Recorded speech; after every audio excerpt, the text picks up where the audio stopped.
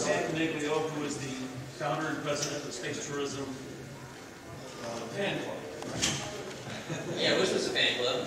Yeah, we're all big fans of space tourism. Sam knows everything there is to know about space tourism. So if you got any questions, just man to ask. Sam, there you go. Thank you. Thank you, Bob. Thank you for organizing this event. Thank you for inviting me to come over. Um, welcome, everyone. Glad you can make it. Um, this is a really neat thing. I've never actually been to a National Space Society uh, ISDC event before, so this is new to me. I'm uh, very well known in, in, in circles with the Space Frontier Foundation, and I've been doing research on space tourism since 1997, something like that. So uh, this is a, a uh, brief session on space tourism, get you up to speed. I'm assuming most of you have heard of the, of the, the concepts of space tourism. You've heard about Dennis Tito. Raise your hand. Yes?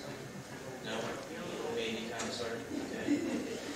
So what we're doing here is basically just kind of an update of the state of the industry, what's happened over the past uh, year or so. So um, because of time constraints, I'm not going to be able to do my full presentation. In fact, I'm just going to go to like one slide just to give you a quick stats of what I've seen, the state of the industry, and then we'll go straight over to Chris Farenetta from Space Adventures to do his presentation, and then to Peter Diamandis from uh, the X-Prize, and then Ms. Paola Favata, who's an aerospace architect, will talk about uh, space habitats. So with that, let me just talk real quickly, uh, just go over along to the section I want to talk about. The state of the industry today. The Columbia tragedy on February 1st, 2003 shocked everyone, especially us here in the industry, people who've been following this for years. Um, we weren't, okay, is this the end of the space shuttle program as we know it? You know, is this the end of space travel as we know it? There was a lot of debate that came up in the public about, is manned space travel, travel just over? Is it not going to happen? But based on some of the surveys that have happened after the event, the general public still believes that public space travel is, is important and exciting. I still think it should go on. Um, also, as Peter will talk about in a few minutes, there are four, at least four X-Prize contenders building and or flying prototype vehicles. Also, as we know, two paying travelers have already visited the International Space Station, Dennis Tito Marshall. The mere fact that they flew and got global coverage proves that you know this is really becoming a legitimate industry. Also, we've actually got some real market studies uh, in case form of the uh, Zogby Futron study talking about talking about the, the market potential for the next uh, 20, 30 years. And with that, I'm going to move on to Chris Farenetta, let him talk about space adventures and also implications of some of the uh, projects to date. So, wonderful thing happened on April 18th. A band of small engineers, about 15 people, unveiled flight hardware for a manned spacecraft. So I'm going to first start out and talk about that, but let's, I'm also going to talk about some other technologies here, spacesuits, robotics, and mobile space systems. And, and basically how some of these, the, the costs for these, for this technology, these technologies can be reduced through the participation of smaller, small teams, small contractors. And there, I, also want to just uh, give a little, little footnote. And when I say a small team, generally these small teams are supported. The, the small, te small team, the core team, is, are the system integrators. And they're supported by a wide, wide range of contractors, which uh, could possibly be very large uh, traditional aerospace companies. So let's uh, let me proceed with trying to go through this. Suborbital systems. Well, so what have we learned at Space Adventures? Uh, we we basically proven that the suborbital market exists. We have over 100 reservations to fly on suborbital vehicles.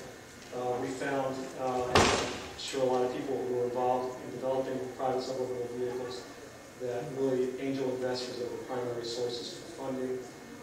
Um, as we've heard earlier, um, the, the, regulatory process through the FAA is not, not trivial. Uh, it has yet to be properly formulated to, uh, to move forward, but that's not to say that they're, they're not trying at the FAA, and, and uh, we should all be very supportive of their efforts. And you know, finally, uh, a reliable, low-cost effort is, is half the battle in, or maybe a third of the battle in, in developing a low-cost um, and or reusable uh, orbital spaceplane, suborbital spaceplane. And so the, the industry uh, plodded along, I say the industry, I mean the, the fledgling um, suborbital, private suborbital vehicle development industry. It's kind of plodded along until, until April of this year. And uh, it was interesting to, to note that there were some early photographs of, of White Knight on the runway, and, and saw these pictures at Aviation Week, and right away we noticed how much ground clearance the, the main body on the vehicle, and we were like, oh my God, it's a, it's a, it's a first stage to a two-stage reusable vehicle. And I mean, it's interesting. It's interesting to look at the uh, the work history, um, the product history of, of Proteus. I it's developed Voyagers flew around the world on, on, without refueling. Um, again, very low cost, um, small focused team. Uh, Proteus, which is known as the poor man's spy plane. And so a lot of a lot of capability, a lot of skills there within this small, s- focused company. Again, here's a better, better shot of White Knight. And this is a system, I mean, half of it, or arguably maybe even a third of it, is, is flying right now. It's in operation. And it's, it's an amazing achievement. Again, you know, for, for probably less than $20 million, flight hardware for a manned system, not orbital, suborbital, but for a very little amount of money, um, flight hardware has been produced. And what's interesting is that this is a this is a byproduct. This is the end result of the X Prize. And so, really, arguably, even if this vehicle never flies, the X Prize has been successful in, in achieving its results because it has it has, in a sense, uh, defined uh, an industry, suborbital vehicles. It's created this industry, and, and this is essentially the uh, the byproduct. And so. I guess what I'm trying to say is that the stage has been set, um, and largely through the uh, dance process. So good work.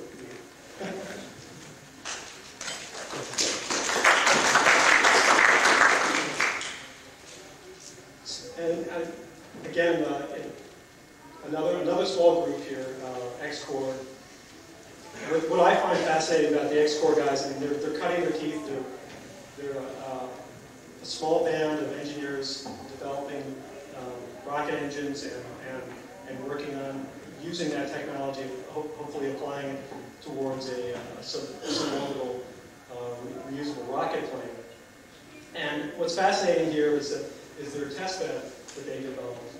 Um, it is a, it's a uh, essentially a, a rocket plane fitted to uh, one of the Burt Rutan's very easy. And um, what, what I find fascinating about this same process that Sergei Korolev went through, he, he also built a rocket plane, and that's how he was able to cut his teeth in, in uh, launch vehicle development. So it's, um, it's, it's nice to see sort of the sim- a similar processing, a similar process happening again. Um, again, C-21, this is um, a Russian effort um, that is very similar to uh, Spaceship One in that it's a two, two-stage wing approach. And I, I think that, uh, you may have noticed the bullet earlier in my slide, but I, I think that, um, that winged suborbital vehicles are probably the, the best and, and safest approach because you do have, you have a wide range of, you have many opportunities to fail gracefully, which is really nice. You can take off here, and if you have an engine failure, you can dump fuel and hopefully get back to the runway.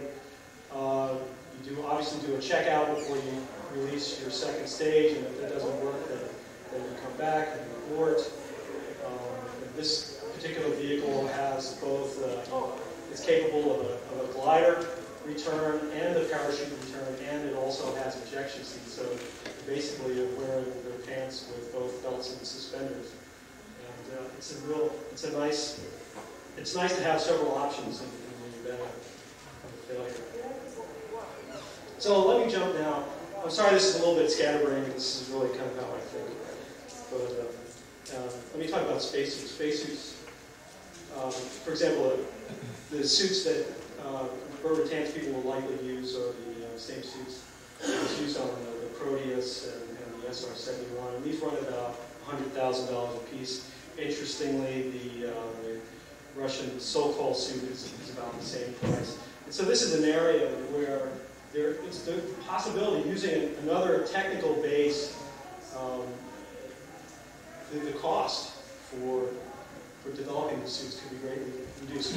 For example, you look at dry suit technology in scuba diving. Essentially, it's a, it's a suit that must remain airtight uh, at depths greater than 300 feet. And so there's a considerable amount of pressure on that suit. And, and so there's a technical base there. And again, these are smaller companies. Most of them are owned by, uh, by large conglomerates. But um, where we could, we could use this industrial base to lower the cost of spacesuits. And this is important because most likely when we do suborbital space tourism, we're going to need a wide range of different sizes of spacesuits. We're going to need a large inventory of them. And so we, we need to be able to, to be able to reduce the production cost there. Now jumping over to robotics. Right now, uh, the ISS, uh, the, the, mainstay for logistics, is, is provided by um, a robotic vehicle. And uh, so robotics are playing a key role right now in, in keeping the ISS going. And, you know, of course, as, as you all know, uh, teleoperated um, robotics plays a, a significant role at this point in the assembly of ISS with the Canadian Canadarm2, for example. But I, I believe that it, robotics could play an even, even greater role, maybe some by um, utilizing free-ranging robotics that are, that are attached to the station and, and can maneuver around the station on their own. I mean, imagine uh, having these robots teleoperated from Earth. You could run, literally run them 24 hours a day, run shifts from the control station. And uh, you could do all your maintenance. And basically what happens is you free up the crew so that they're able to do science rather than rushing around trying to do some assembly work, trying to do maintenance on the station. The station is very complex. And when it gets older, it's going to require a lot of maintenance. And so we'd much rather have the crew on board focusing on science and then have uh, teleoperated or maybe uh, AI or independently intelligent uh, robots servicing the station. And to give you an idea, of, you know, NEMO is, um, is essentially a, a 14 a robot that was developed in the 1980s for about $14 million.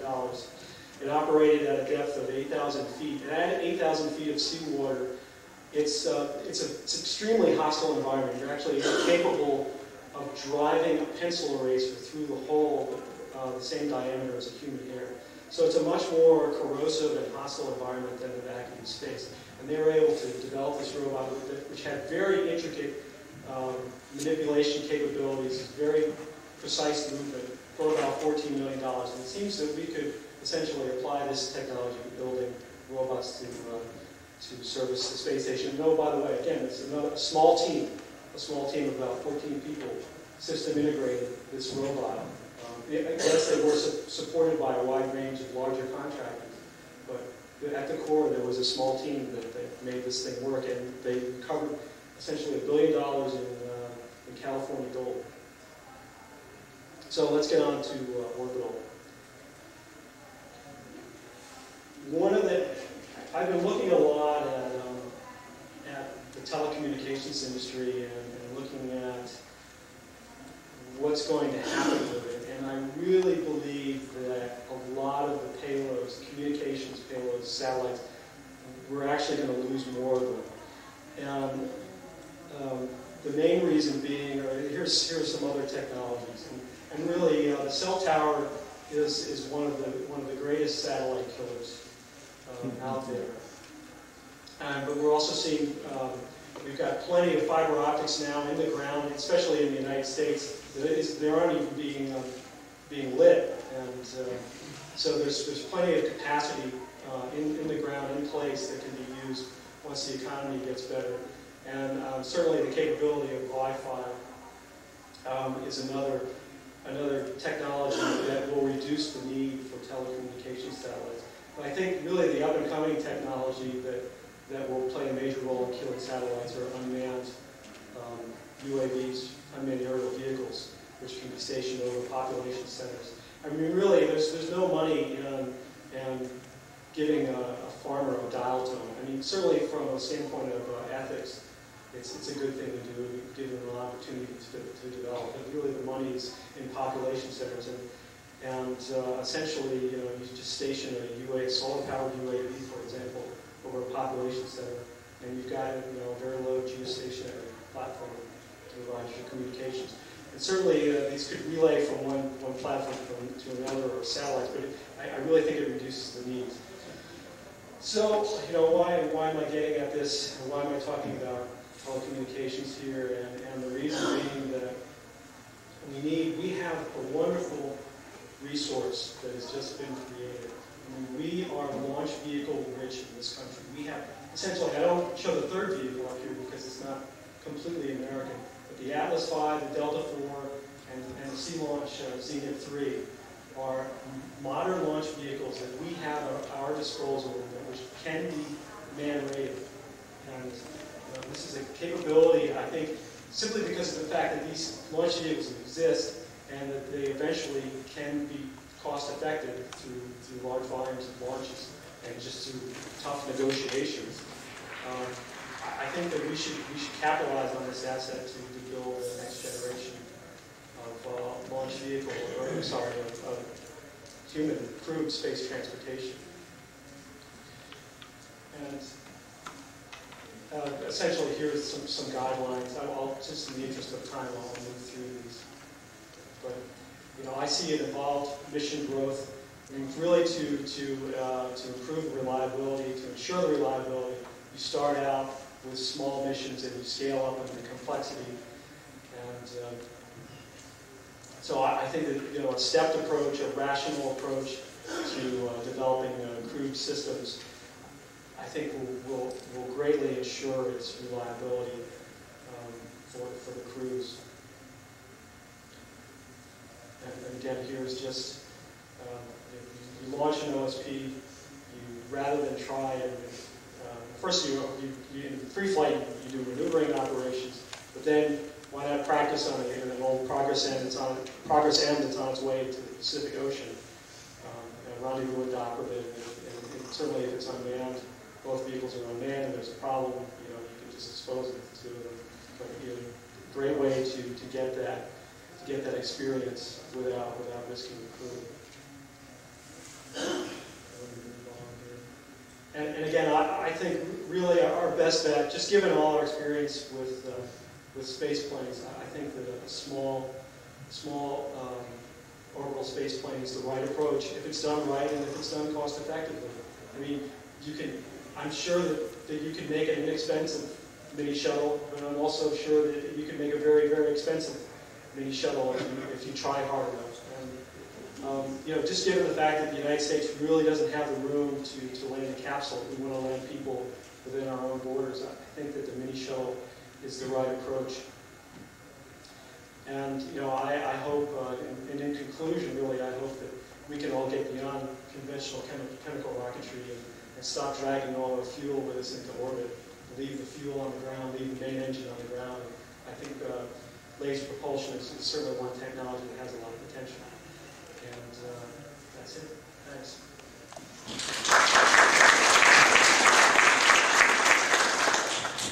Thank you, Chris. Next up is going to be Peter Diamandis. Thanks, Sam. Thank you, Chris. Um, uh, Chris has been uh, one of the uh, movers and shakers and uh, entrepreneurs in the space business for how long, Chris? About 13 years. About 13 years. Not very long.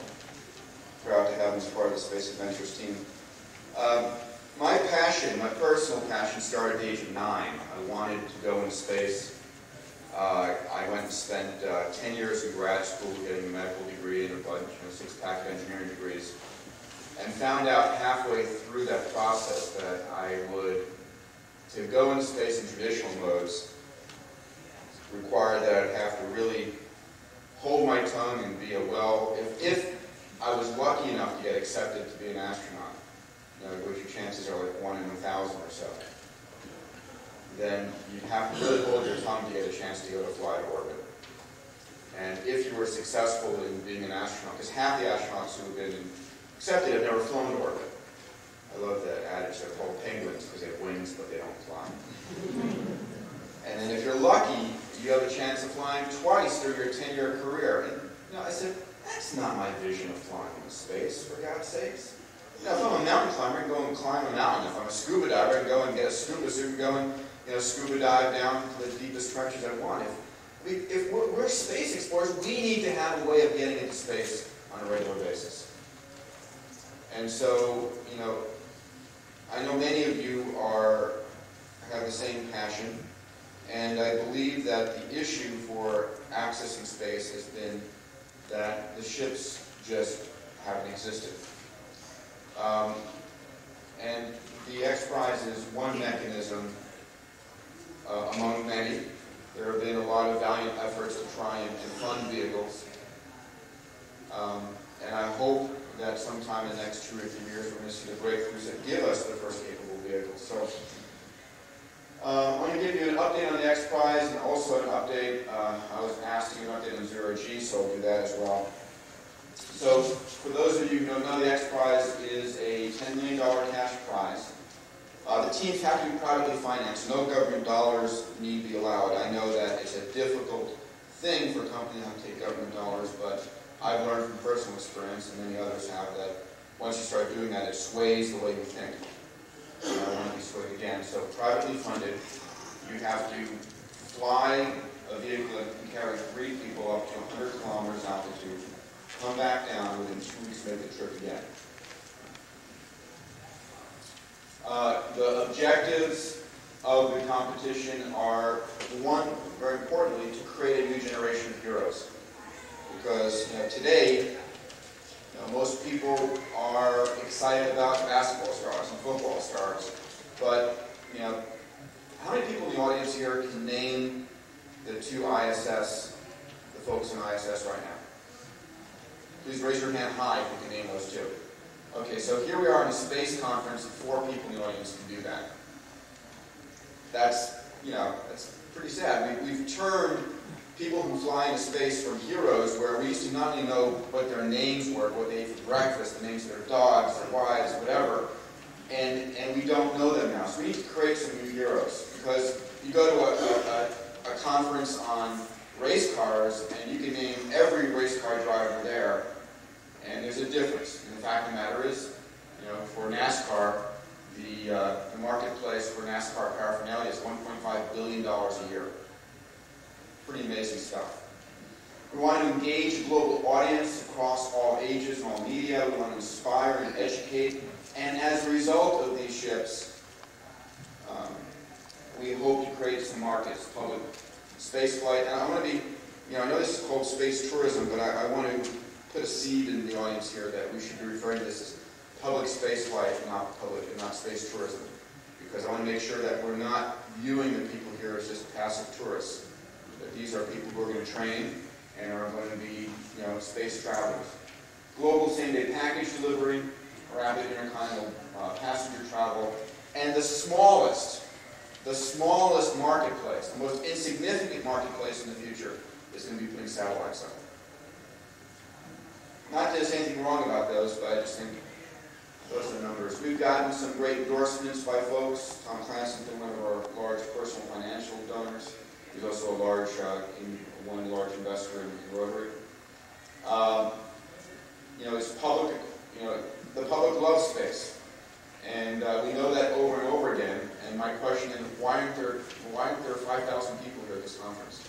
What are we doing wrong if it's one of the most popular areas and we don't have that connection right now? So just ask you to think about that. Uh, we have had a huge amount of media increase. We're now, I think, over 1.5 billion media impressions. We've had exponential growth. Uh, there's some four or 5,000 articles right now, 20 odd documentaries going on. And the reason, I think, is people love races. You know, the fact of the matter is that one horse going around the track is a boring, you know, watching a horse. But put a bunch together, a horse race, and people love competition. So the X Prize has you know, has done something successful in terms of just getting people thinking in terms of a race and putting it in context so the public can, can be excited about it. Uh, one of the things that we did at the X Prize, because uh, uh, as a warm-up, is we did something called the Lindbergh flight. Eric Lindbergh, who's uh, my vice president there, Charles Lindbergh's grandson, flew nonstop, recreating his grandfather's flight from New York to Paris. And we built a mission control facility in St. Louis, which uh, will be the mission control for the X Prize flights as well. And again, one of the objectives here is to inspire young kids to get excited about space again. Because I know when I was growing up, my expectation was I'd have a chance to fly, we'd all have a chance to fly. Everybody was excited about it. Now, kids just don't get it because we've successfully created the, the belief in them that it's not something they can do. And if, if, they, if it's not something they can do, why should they be excited about it? We need to change that and get them to believe that it's something they can, they can personally participate in. We have uh, 24 teams now from seven nations that have registered for the competition. They'll spend between two to 20 million dollars to uh, to win win the X Prize. To show you a little bit, uh, uh, Chris shows a few images. Let me extend extend those. Uh, Burt was the first person to register for the competition back in uh, May of 1996 and uh, he has spent somewhere on the order of, he hasn't given an exact number, of somewhere from 10 to 20 million dollars to build his ship, which is privately funded. Uh, two days ago, it did capture carry tests of, uh, of the White Knight, uh, which was uh, which was great. And next week, I know that he's planning uh, some more engine firings. And we'll go from here to glide tests. We'll do releases and make sure that the vehicle can glide down properly. And then when he ignites the uh, nitrous oxide engines on board that vehicle, it'll be the first privately funded supersonic rocket-driven airplane. And when he points it upwards, hopefully uh, one of the first to go to go to space. Let me show a little bit of uh, video here.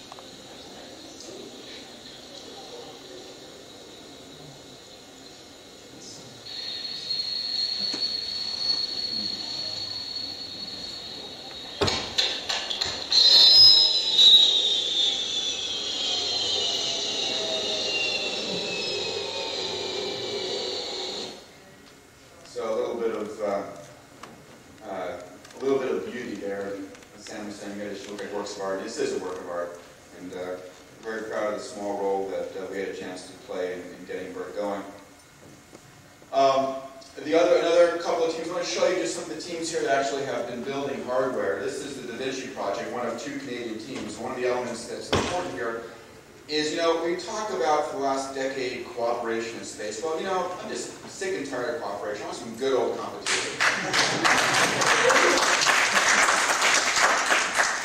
so we've got, thank you, we've got competition now uh, between countries and competition, and, and I, say that tongue in cheek, okay? I'm just saying that competition has spurred us. We need cooperation, but we also need some human competition like we do in sports from the, that, that sort of that sort of angle. But uh, we have a, two Canadian teams that are competing neck and neck against each other, which is great. The Da Vinci project here is a design that lofts their rocket ship up to 80,000 feet with a helium balloon suspended 600 meters below by Kevlar tether. Uh, is their vehicle. Here you see the propulsion system they'll be using and their vehicle, and they launch from there uh, into space. The other Canadian team, which is you know competing neck and neck against them, is, is, is great to see. The Canadian Arrow, uh, we actually brought their vehicle down into Rockefeller Center, which I call Rockefeller Center now, uh, back, and getting that vehicle across the GW Bridge after 9/11 was quite a challenge.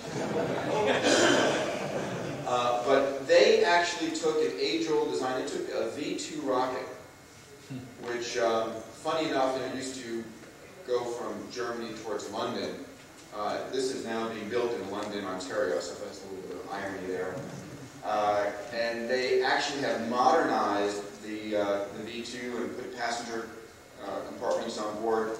You can see in the center uh, end photo below, that's a 57,000 pound alcohol uh, LOX engine, which they are getting ready to test fire within the next week or two. And that's very exciting. This is definitely one of the teams that's out there. They're, they're building four aero bodies for that vehicle. Uh, Advent Launch Systems in Houston, uh, Jim Akkerman uh, was one of the folks in advanced propulsion in, uh, at JSC.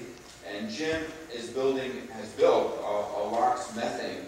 A little side note, I had the pleasure of uh, going and visiting Jim in his home back about, about nine, ten months ago. And I, I said, Jim, you know, have you guys given up on your vehicle? What's, I haven't heard from you in a while. What's going on?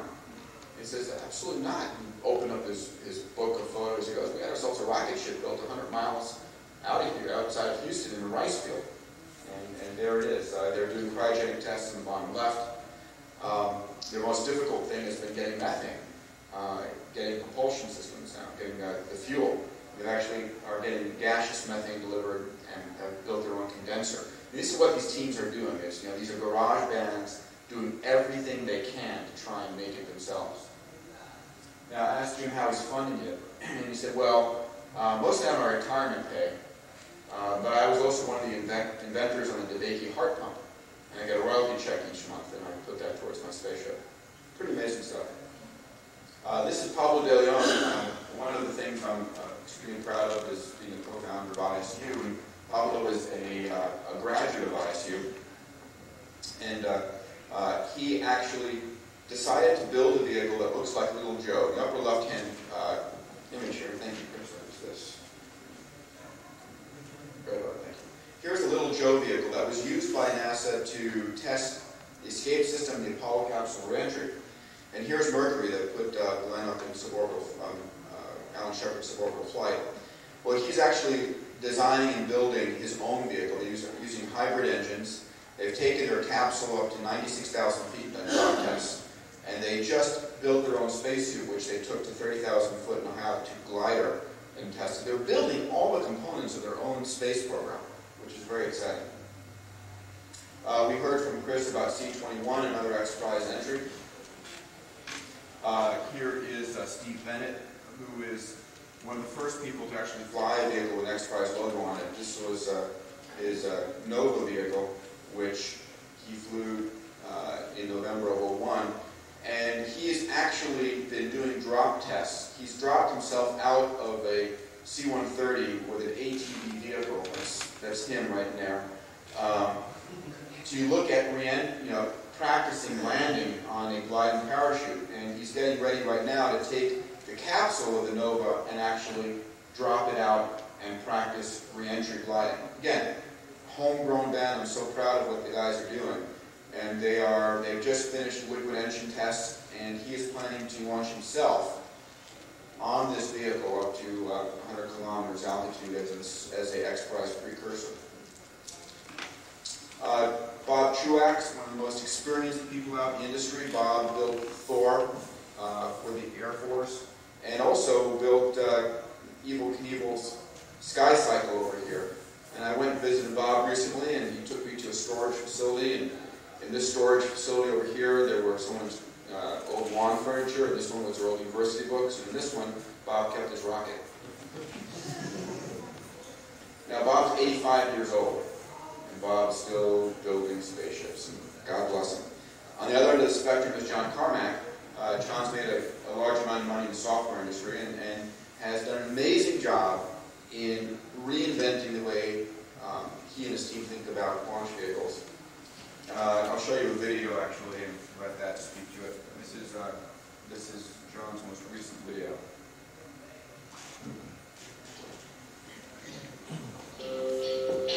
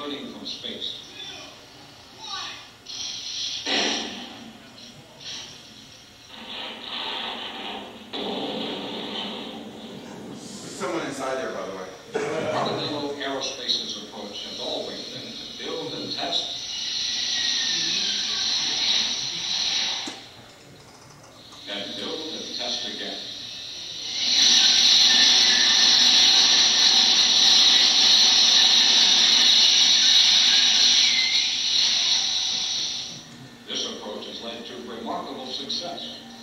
But the important achievements the team has accomplished are only the beginning.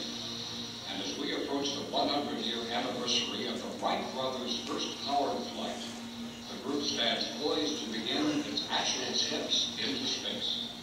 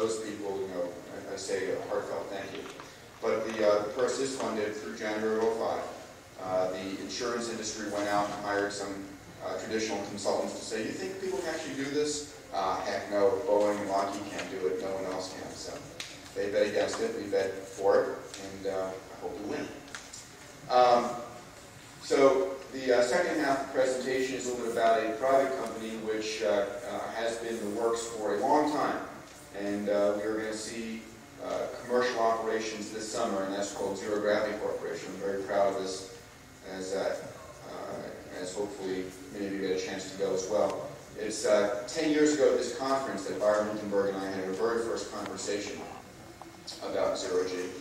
Uh, so I've had overnight success after 10 years of hard work.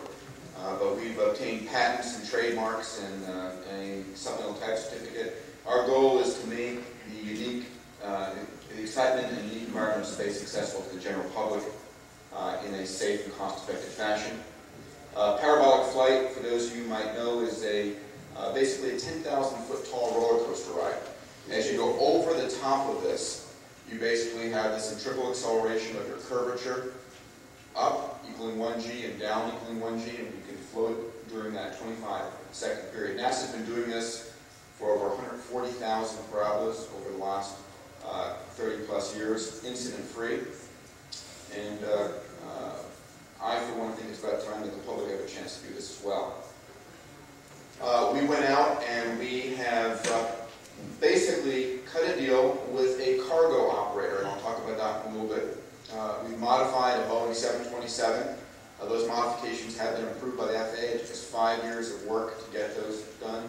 We chose the 727 because it's the same body size as NASA's airplane. Uh, it actually, because rear-mounted center engines, it's a better, smoother parabola.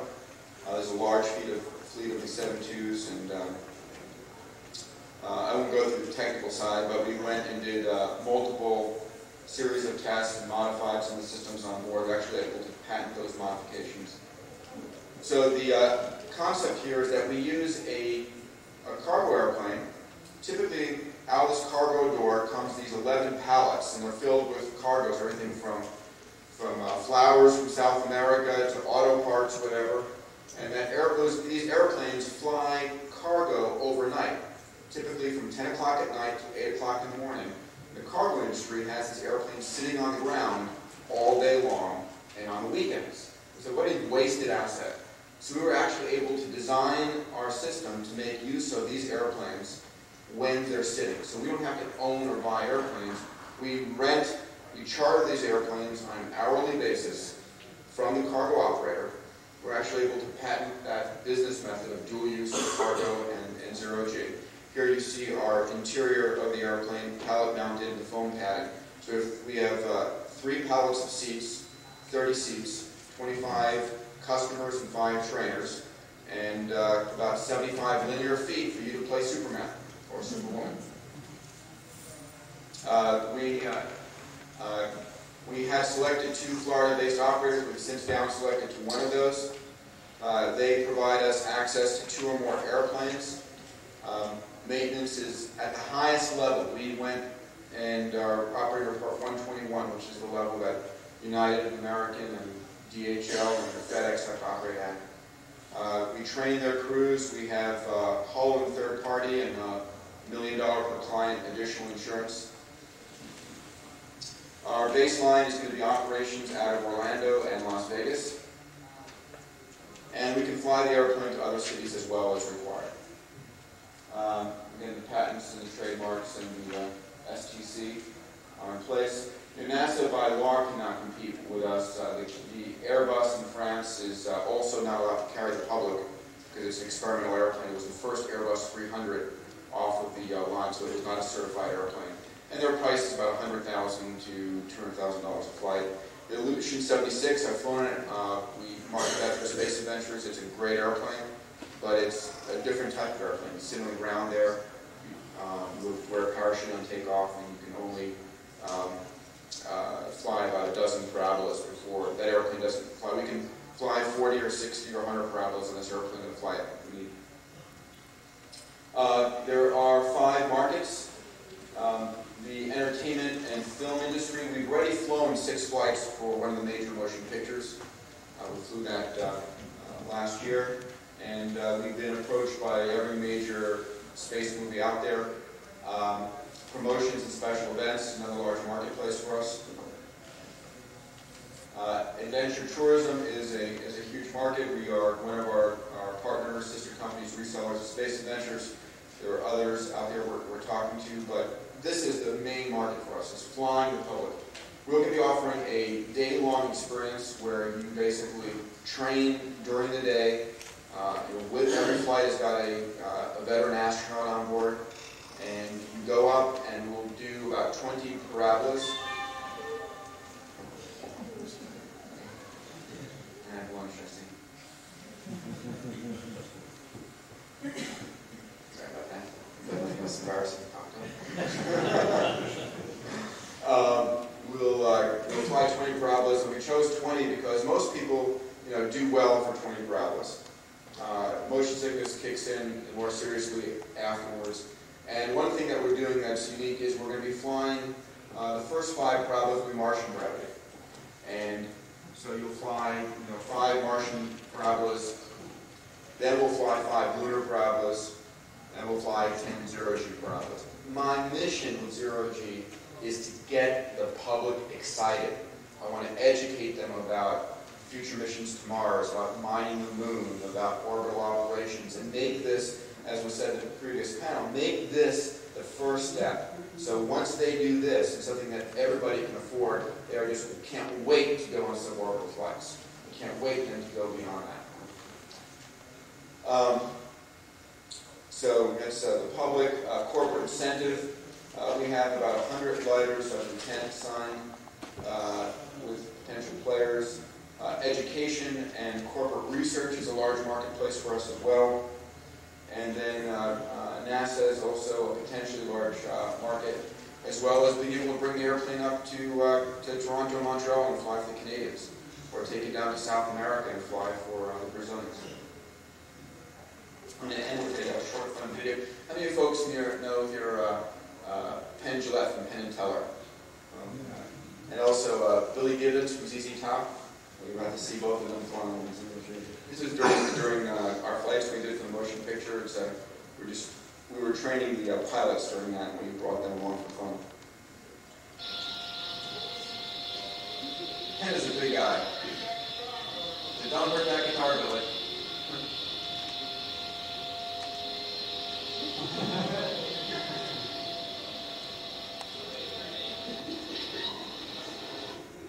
So, all right, folks, thank you very much.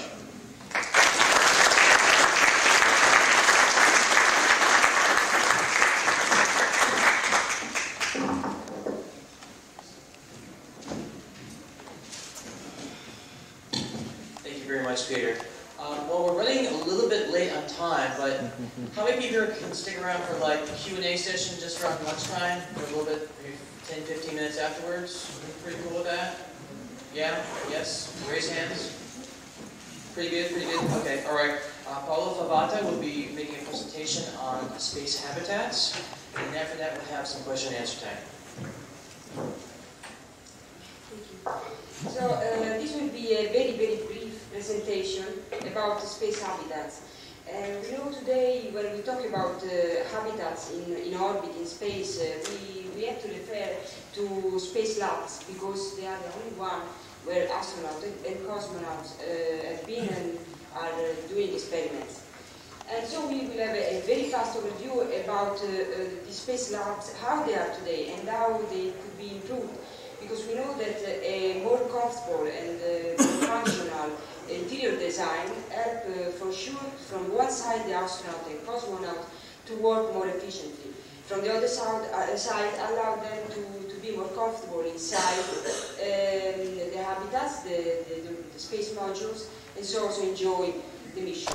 From uh, the, the, the last part of the presentation, instead, we'll focus uh, with, uh, on the space resorts, space hotels, or however we want to call this uh, new um, habitats, the next frontier uh, linked to the commer- commercialization of space. So, uh, because we want to be realistic, we know that uh, currently the only um, modules uh, uh, that are safe are tested uh, pressurized module that can be adapted, can host people, are the aluminum rigid ones. So we have on the left the MPLM, on the right we have the traditional 24 Rex uh, aluminum module, and uh, in the center we have the node, the pressurized node, that is for sure very small, but it can, it could give uh, the possibility to, to enlarge a, a possible space habitat. So we, as we see, uh, we have a very, very little free space per person inside the, the, the, the, the Destiny module, uh, about 15 uh, cubic meters, but uh, always remaining within the uh, tested space module, we can consider the Zvezda uh, service module, which is bigger than the traditional aluminum module, the Destiny, and which could um, give to each person uh, basically double of the free space. And this is not to undervalue if we uh, think uh, to improve the quality of the lifestyle inside, especially if we uh, talk about space tourism. And um, so, uh, because we, we know that in, uh, inside the confined, uh, these confined uh, habitats, environment, uh, even a very, very small space can be very important, or free space, I mean. But uh, when we start to think about uh, uh, space hotel, we obviously desire more space. Uh, I'm an architect, so uh, for me it would be fantastic to have a, an amount of free space to rearrange inside and where to create new functions linked to the amusing uh, microgravity. But um, up to now, uh, these are two examples of uh, way of thinking, two different philosophy. From one side there is the inflatable technology, so the which have been uh, developed, studied, then stopped, unfortunately, uh, in the 2001. And from the other side, uh, the shuttle external tank that for sure would be would offer a huge amount of free space, but to, both should be developed. And as you see in, at the bottom, you would have a lot of free space per person, so the possibility, for example, inside the optic of the space tourism, to organize a lot of uh, private rooms, may, maybe different one from each other, a lot of uh, social activities, and so on. So now uh, we have an idea of what, are the, what is the lifestyle inside the module today. Uh, we know that we are talking about space mission, but we also know that all this confusion can distract uh, the concentration even during an experiment. And uh, so uh, if we think about the human habitat, in, habitat interaction, we have um, a lot of points that uh, like uh, the poor quality of uh, the design, the monotonous in, the monotony in color, colors, the poor flexibilities, many requirements that for sure could be, could be improved to increase the quality of the lifestyle for the same astronaut and cosmonaut. And then also having benefits in the human-human interaction. So let's uh, have an idea of what uh, we should do in order to improve the quality of this design, interior design. For sure, uh, the first requirement is the safety, because we want to avoid, or if not possible, at least reduce the dangers. So we have fire, noise, radiation, vibration, and so on. But the second point is the feasibility, so the technology. And so we can use the current technology, uh, gassing compatible materials and the current appropriate uh, production technologies to realize uh, and to reconfigure the interiors in a, in a different way. Uh, for sure, especially from the architectural point of view, the, the functionality is a, most, a, a, very important point because everything is inside these habitats, uh, even they are for mission, space mission, uh, experiments, or for space tourism, tourism, they have to be functional.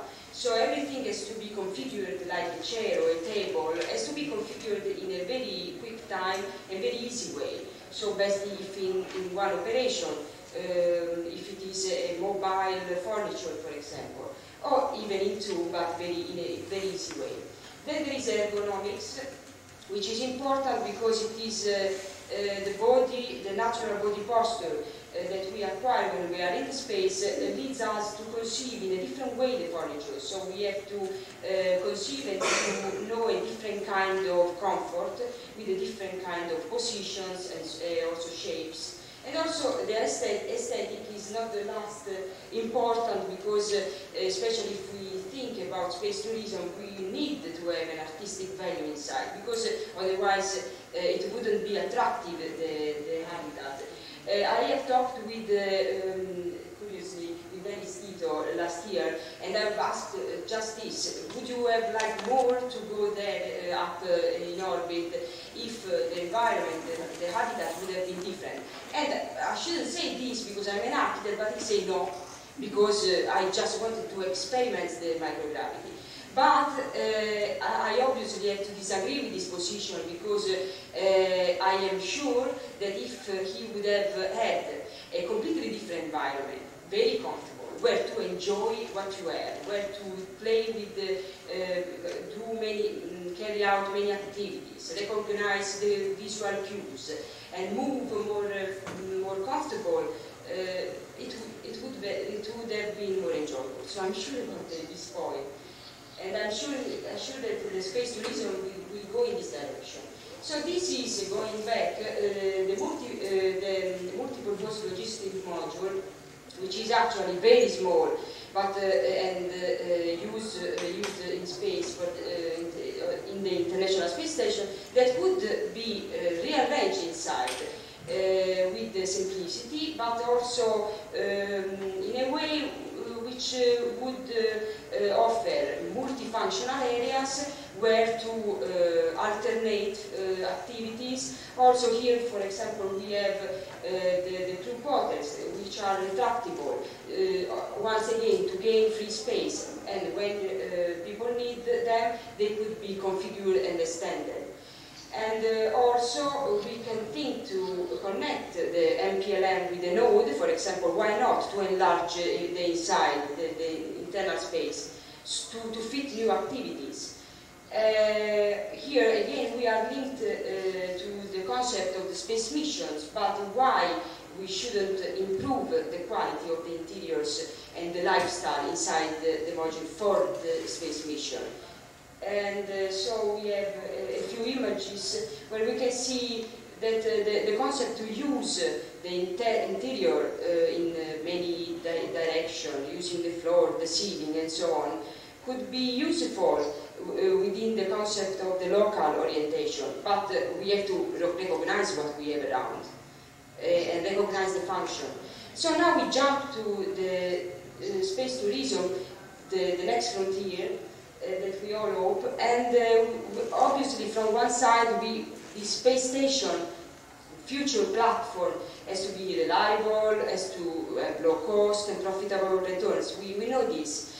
And uh, what we can do to, to realize this platform, this, this new space resorts. From one side, we could uh, develop a new module, pro, um, pressurized module to contain people. Uh, and using exist uh, existing technologies to configure the interiors of this module. And uh, here maybe we think about inflatable module, very big, able to host very big hotels for many guests. But we have the, the problem that we have to face new technologies, time, time to, to test them, and also high cost. So in a short term, the first step that we can do immediately, we could use the existing modules that have been tested in orbit, adapting them to new function, at least in to try to see how can we could we conceive these habitats in an amuse, amusing way, in, a, uh, in the sense of a, resort. So this is a project that I've done a few years ago, uh, uh, a project proposal where I studied how to fit inside the TransHab, which was, at that time um, a possible way to configure an hotel, distributing new function and uh, um, leaving more space to the creativity uh, in the use of compatible materials but with different color, different textures, and uh, so here we have an idea about these interiors and also, uh, as we see, the ceiling and the floors are not anymore recognizable because they are use usable and uh, rich of function spread around. So in the hotel we have to provide private rooms which could be different one from each other uh, and uh, used in a different way. We have to provide bathroom, uh, luckily if we can, if have space, one bathroom for each uh, room, or maybe one bathroom for a group of similar rooms. Then we have to provide one or two restaurants. And uh, for sure, uh, a good idea would be the gym, where to uh, experiment uh, in a different way uh, gymnastic and mobility of our body, and absolutely an healthcare room where to monitor our physical condition. And uh, why not, uh, absolutely a fun room or something uh, completely different from what we know on the Earth. And uh, also the safe havens, uh, which are basically uh, those safe areas, safe rooms or compartments where to go in case of danger, particular um, danger or particular conditions, which can be organized like common rooms where to relax, watch TV, movies or read. Here instead uh, is the last uh, um, uh, sequence of pictures that I will show you. Is a, a, project proposal that I've done last year where um, there was the idea to adapt the Zvezda service module um, to the new function of a space hotel and where, um, due to the diversity of uh, the, the, function of uh, the module itself, it was possible uh, to cut a little bit of weight because like the small, small like block here is not more any more necessary, or some of, of the equipment for the for the experiments, and to readapt it, cutting basically uh, this module in two, uh, from one part, uh, from one side, uh, to, um, we would have uh, the control station and the service area, let's say, with the bathroom and healthcare um, area. And from the other side, uh, we would have a, a large, quite large uh, room where to fit new functions, uh, a multifunctional room, obviously.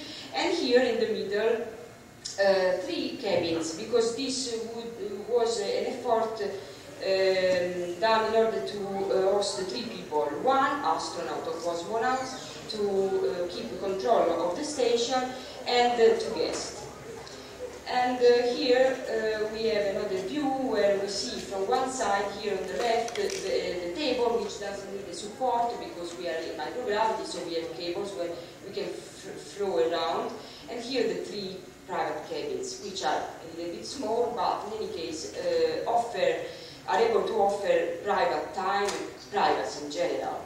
And here we have a, a view of uh, the interior and the cabin, and here a view of uh, uh, from the other side uh, of the room with a table. So this is uh, all, and uh, if you have questions, uh,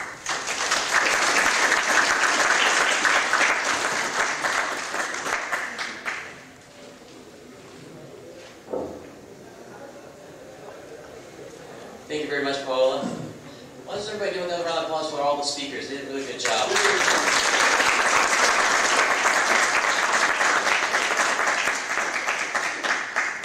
Now, I know it's uh, 12 noon, and some of you may be going to the uh, sessions in the other room, so if you need to go, you can do that now. Or uh, stick around, uh, Q&A. Um, we'll be able for a little bit, for a few minutes. We'll do maybe about 10, 15 minutes maximum for Q&A. So if anybody has any questions, just raise their hands. Yes, sir. What was the cost of the zero G ride? Cost of the zero G ride? Uh, We haven't, uh, we haven't published a price yet, but it'll probably be somewhere in the neighborhood of uh, uh, $4,000. Uh, Right now, it's about $5,500 to do with Russia, but it's also traveling to Russia and spending four or five days of your time, so. And, and half the work Any other questions? Yes? In the preparation or training, does the zero G passenger? Uh, nothing in advance of getting there. You just show up, you will have to have uh, signed a liability waiver, uh, you will have to have signed a medical release form, uh, and in certain circumstances, if you have any pre-existing conditions, have to get released from a medical, uh, example, physician, but in most cases not. And then uh, your training takes place that day, and your flight takes place that day. Uh, Physical requirements are, um, uh, uh, right now, basically, if you can ride a roller coaster ride, you can ride on this. To say it roughly. Anyone else? How long is the flight? Uh, The flight for the public will be about an hour and a half. When, when will this begin, or is it starting? Uh, I'm sorry, didn't you get that question? When does it start, or is it going now? Uh, we're- We haven't initiated, we hope to begin operations this summer, Uh, and we'll make announcements there. We we ba- basically have been keeping things low-key until everything is fin- finalized and real.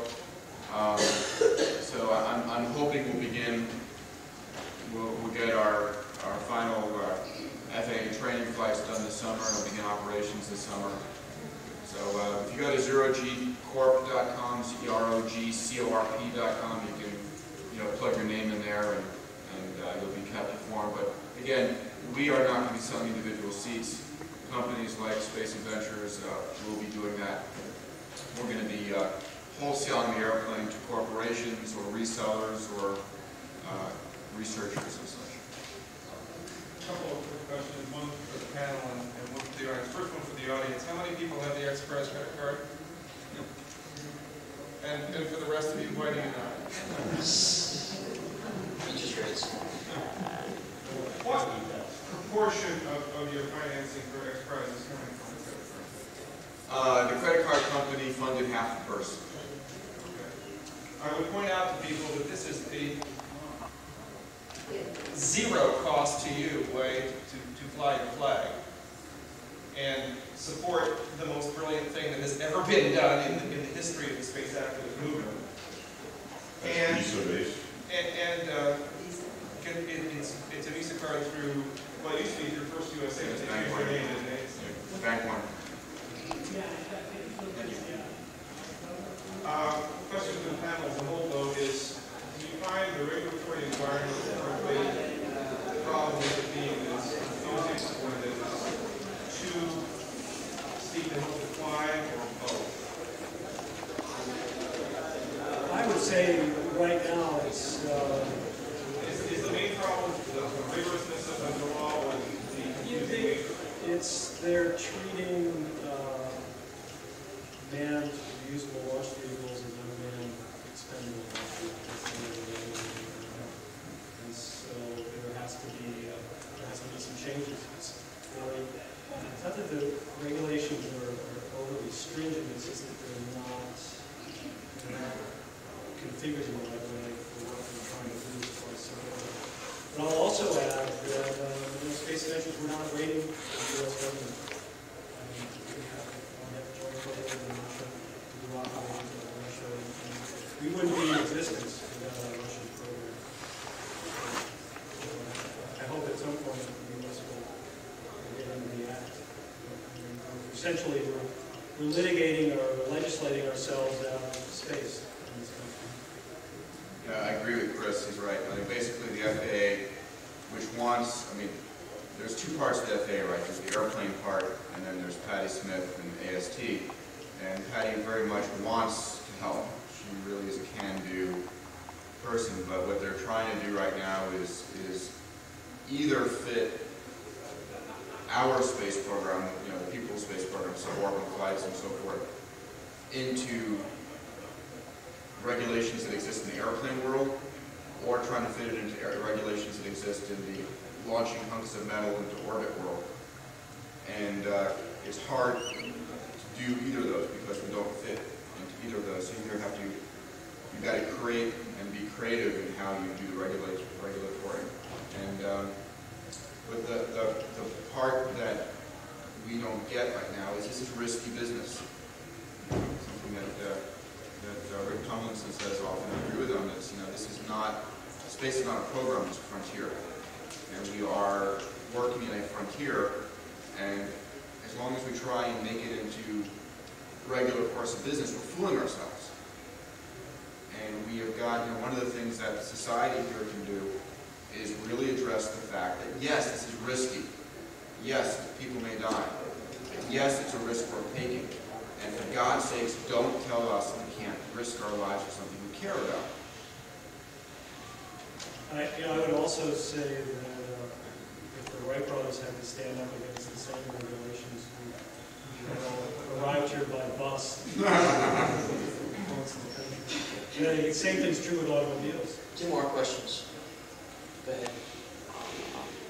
If in fact we get zero G flights for the public this summer, with six or so, We do have it right now, but you have to go now in, in the US, in the US, I know. Um,